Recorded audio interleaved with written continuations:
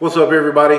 Chris with South Carolina Gun School, and today we're going to talk about human trafficking and why we need to have conversations around this with our kids and our young ones.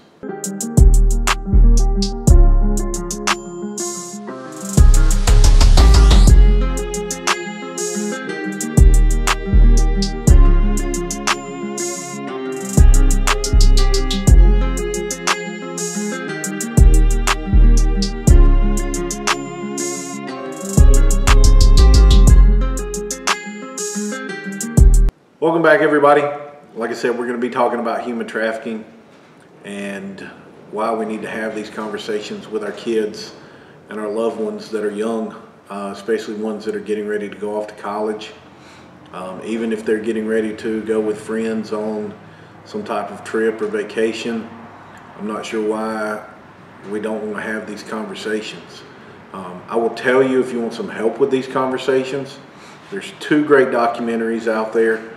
Uh, one is by Craig Sawyer. Uh, he runs uh, Veterans for Child Rescue. His website is vetsforchildrescue.org. You can find his documentary Contraland, which they are a nonprofit that go out and help local and federal agencies uh, bust human trafficking rings. I know they've had somewhere around 20 to 25 arrests made and 100% conviction rate. So they're doing great work. I highly recommend going out and donating to that organization as well too. But Contraland is a great documentary. Another great documentary is with a great friend of mine. Uh, her name is Kendra Geronimo. Uh, you can find her on Instagram under Hustle Queen. Uh, but she did a or with was with a documentary called Surviving Sex Trafficking. Uh, those are two great documentaries that I would highly recommend you sitting down and watching with your kids and helping them understand the importance of being aware of their surroundings.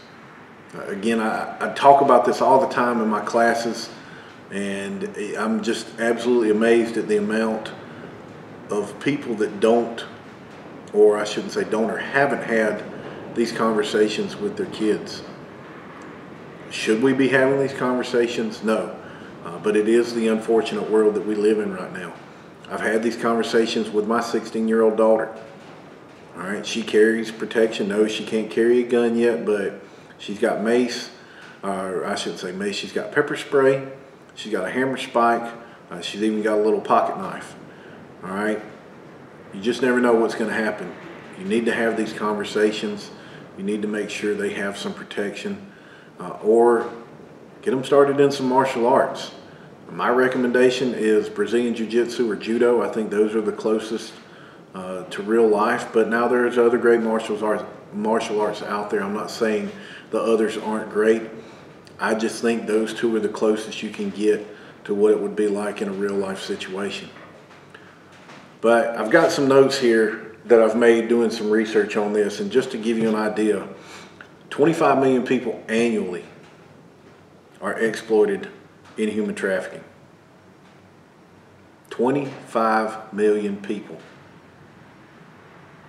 That right there is pretty much how many people live in Australia. So give you a comparison. This this stuff is happening, folks. It's happening near me. I'm willing to bet it's probably happening near you if you go in and actually start doing some research and looking into this. Okay? The average lifespan of someone of trafficking victim is seven to 10 years from when they started trafficking. The average age is 13 years old. 13 is the average age. And they focus between the ages of 13 to 21. Now, a lot of, from what I've seen and from what I've found, they focus on your tourist areas and your college towns. Because those are usually places where the vast majority of the people aren't from there, they don't have family there, and before they're even noticed or realized, seen, or, or noticed that they're missing, they're gone. They could be in another country, definitely going to be in another state. But we've got to make sure we have these conversations and make them aware Let them understand you need to be watching your surroundings. If something feels off, it's probably off. But it's better to be safe than sorry. So, to give you an idea for South Carolina, the top 10 counties for human trafficking Horry County, down around the coast, the beach, tourist areas, Richland County, colleges, University of South Carolina, Greenville County, just right up the road from me. It's growing as a tourist town. Charleston County, you're in Charleston, major tourist area for South Carolina. Spartanburg County, all right, again, right up the road. Anderson County, that's the county that I live in. That's six in our state. York County, Dorchester, Greenwood, Aiken, Cherokee, Clinton, Florence, Lexington, and Orangeburg. Those are the top 10 counties in South Carolina for human trafficking. Now, another reason where I'm at is so it's grown so much. We're right in between Charlotte and Atlanta, which have major airports, and then Atlanta is an international airport. And even with Richland County, Horry County, Charleston County, there's small airports in those areas too. Now, from what I saw from last year, from what our Attorney General was, say, was saying, we saw a 50% increase in the number of victims reported to the human trafficking hotline. Now, that's great that it's being reported, but that's still not great that it grew like that. I mean, this is a growing industry. Um, 2021, it was 150 billion dollars made that year off of human trafficking. Yes, I said billion, not million. 150 billion. Drug cartels are doing more human trafficking than they're doing drug trafficking because it's more lucrative right now. Now, if we go in, now some of these numbers are from 2020, 2021, I couldn't really find anything for 2022. But now if we look at the top 10 states, top 10 states, Nevada, major tourist areas, Mississippi, college towns, tourist towns, Florida, tourist towns, Georgia, colleges and tourist towns, Ohio, Delaware, California, Missouri, Texas, and Michigan. If we look at the top cities for 2020, Washington, D.C., Atlanta, Georgia, Orlando, Florida, Miami, Florida, Las Vegas, Nevada, and Charlotte, North Carolina. All major tourist towns. Washington, D.C., I mean, you've got the capital, you've got all that. Kids coming in and out on field trips and stuff. Atlanta, Georgia.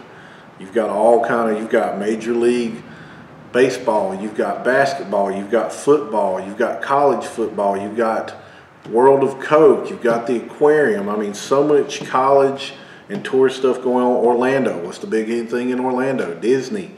Miami, Miami's huge, huge tourist town. Las Vegas, another huge tourist town. Charlotte, another huge tourist town. Okay, you got major league sports You've got all kind of different tourist attractions to come to. It's it's happening around you folks, whether you like it or not. You can't go sticking your head in the dirt expecting it to go away. You definitely can't go through life going, it'll never happen to me. Or it'll never happen to my kids. You need to have these conversations. You need to make sure your kids are aware of their surroundings. You need to make sure they stay off of these things when they're out and about. Now, if it's a phone call, hey, that's fine. I understand you got to take a phone call. But I can't tell you how many times I've been to the mall and this is what everybody is. Texting, typing, listening, our heads in, headphones in, heads buried in the phones. We've got to get them out of that. If they've got to respond to you in a message or take a phone call, that's fine. But they can't stay buried into it. What shocked me is some of the some of the states that were very low in the list, like Massachusetts. All right, big tourist town, or you've got tour, you got Boston, and you got other tourist towns there. All right, New Hampshire. I've gone up there before. It's I've, it, Rhode Island, Idaho, Vermont, Connecticut, Wisconsin, Alabama. Those were at the bottom of the list. I think South Carolina was in the top 25 as far as states. So you, you need to get in and do your research, people, and take a look at this. Like I said, it's, it's happening whether you like it or not. It's probably happening right near you just like it is right near me.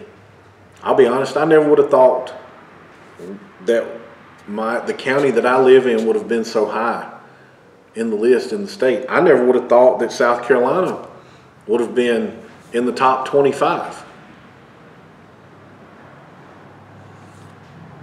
Have these conversations.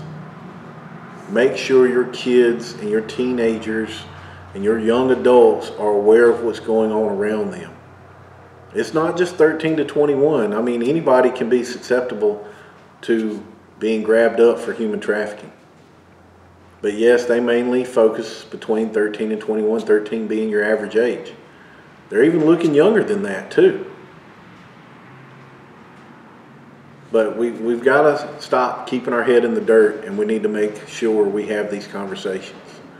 Again, Contraland by Craig Sawyer, vetsforchildrescue.org.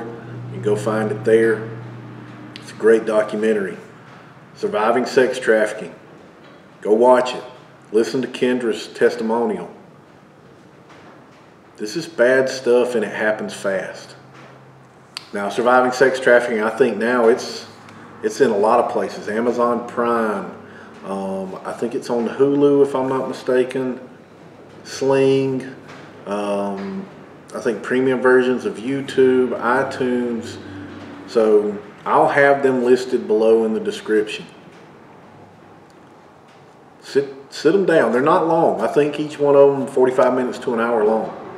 But they are great documentaries to help them understand why they need to be aware of their surroundings. Please have these conversations, folks. Don't be scared to have these conversations. If you're near me, come in and take my Beyond Vigilance class. And we're going to talk about these kind of things, what to look for, how to respond and get away from it. All right? So, and if you're a student, if you're in that age range, 13 to 21, I give discounts. I want, you of all people need to be aware, I want to help you. If you need help having those conversations, please look me up. If you want me to travel to you, I'll travel to you. But we need to have these conversations, folks. I hope you'll take this to heart and you'll have these conversations with your kids and with your loved ones like I said, let them watch those documentaries. And don't forget, if you're not shooting, you're reloading. If you're not reloading, you're fighting. If you're not fighting, you're dead. Train to live. See you on the range.